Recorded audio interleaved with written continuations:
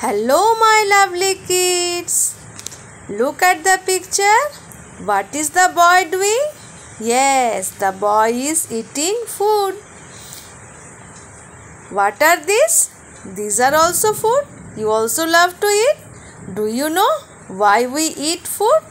We eat food to grow, to stay healthy, strong, and active.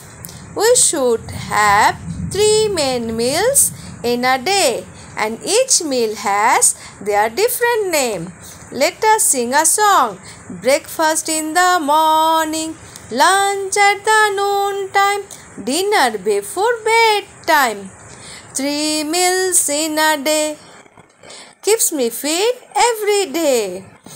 Breakfast items are chapati fruits juice milk egg bread and jam idli dosa oats and milk etcetera lunch items are rice dal sabzi raita काट chicken salad papad vegetables achar chutney omelette etcetera dinner items are chapati sabzi paneer tadka mushroom etcetera Beside this, you drink plenty of water. Now it's time for question answers. How many meals should we eat in a day?